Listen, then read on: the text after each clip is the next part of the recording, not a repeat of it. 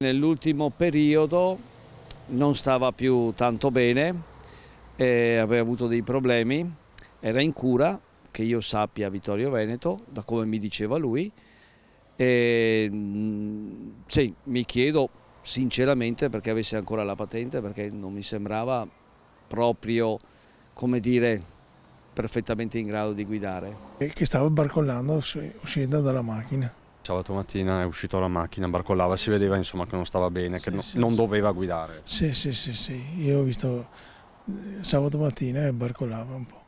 Qui in via Fermi a Treviso lo conoscevano tutti Bruno Sabadin, una vita nei locali e nel mondo della notte, morto dopo aver provocato uno schianto con altri veicoli procedendo contromano sulla 27 tra i caselli di Vittorio Veneto Sud e Vittorio Veneto Nord, direzione Venezia. Il 67enne, dicono anche i vicini di casa, non era nelle condizioni di guidare, la malattia lo aveva divorato fisicamente e mentalmente. Nelle ultime ore anche la conferma che la patente gli era scaduta da qualche giorno, non un dettaglio se si considera considera che solo per miracolo si è evitata la strage, Sabadin prima ha sfiorato una Toyota Auris con una famiglia veneziana di 5 persone a bordo, poi si è scontrato con una Passat dove viaggiavano un uomo trevigiano e una donna, tutti feriti lievi o illesi. Probabilmente Bruno da Treviso aveva preso la strada per Vittorio convinto di doversi sottoporre a terapia, sbagliando però giorno e ora a raccontarlo la sorella Roberta che da mesi si era trasferita a casa dell'uomo per assisterlo. La mattina lui mi ha detto guarda che a lunedì dobbiamo andare su a Vittorio Veneto,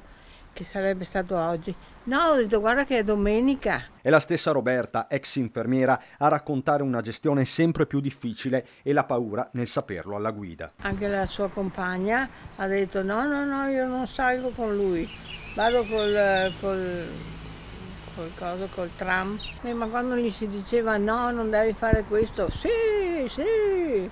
E allora mi prendeva sulla macchina e, e guidava. Mm, esatto, sì, sì, sì.